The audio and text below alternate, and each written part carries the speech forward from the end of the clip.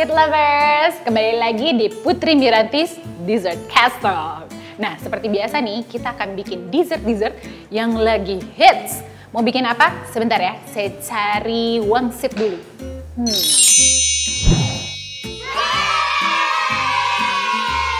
Aha, saya tahu nih ya, sekarang mau bikin apa?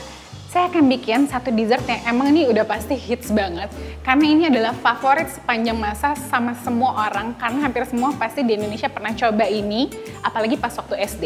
Nah, udah tahu dong, udah kelihatan dari cetakannya kita mau bikin apa? Bener banget, kita akan bikin kue cubit.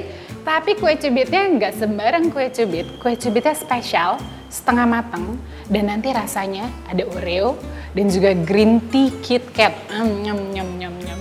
Udah siap? Langsung yuk, let's get cooking. Pertama-tama kita masukin si telur. Kita pakai dua butir telur. Dan juga gulanya. Dan kita kocok sampai mengembang.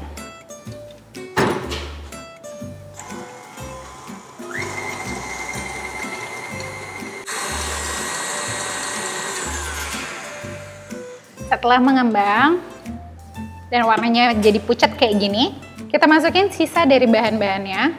Tepung, baking powder, baking soda, sama vanilla. Ini saya pakai vanilla essence atau vanilla extract. Tapi kalau misalnya di abang-abang, sebenarnya mereka nggak pakai jenis vanilla ini. Mereka pakai jenis vanilla tuh yang kayak kristal warna putih. Uh, tapi sih itu sesuai selera. Kalau pengen banget yang otentik kayak abang-abang, silahkan pakai itu. Tapi kalau saya lebih suka rasa yang ini. Sekarang saya pakai uh, butter yang udah dilelehkan.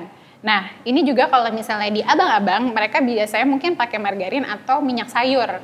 Tapi kalau misalnya kita mau tambahin butter, pasti rasanya lebih enak, ya nggak? Oke, masuk semuanya. Aduk lagi deh.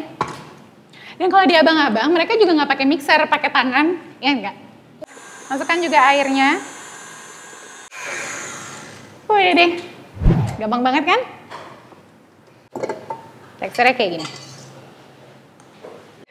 Saya akan bagi dua, yang satu green tea, yang satu original yang bakal kita kasih Oreo. Yang green tea kita pakai green tea powder sebanyak hmm, setengah sendok sampai satu sendok teh. Campurin dulu di sini supaya dia lebih gampang nyampurnya. Kita panasin dulu cetakannya pakai api yang paling kecil supaya dia panasnya rata. Terus saya akan kasihin dia butter sedikit atau minyak. Cetakannya udah panas, kita tuang deh. Kita tuangnya 3 per 4 aja. Karena nanti dia akan ngembang sedikit.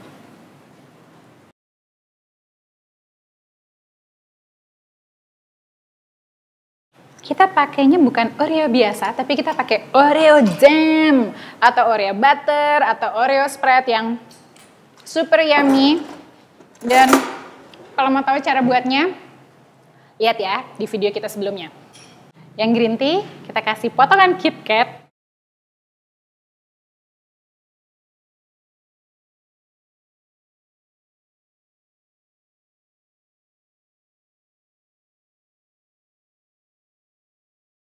Harus banget dicoba resepnya. Kalau mau lihat, langsung aja cek di www.kokiku.tv untuk resep lengkapnya. Dan jangan lupa untuk subscribe di YouTube channel ini. Dan jangan lupa kalau misalnya nyoba di rumah, tag ya fotonya ke kita biar kita lihat. Pasti lucu-lucu banget deh hasilnya. Dan jangan lupa juga kalau mau request, mau dibuatin apa, langsung aja tulis di bawah kolom atau di Instagram kita. Hmm. Hmm. Hmm. Hmm.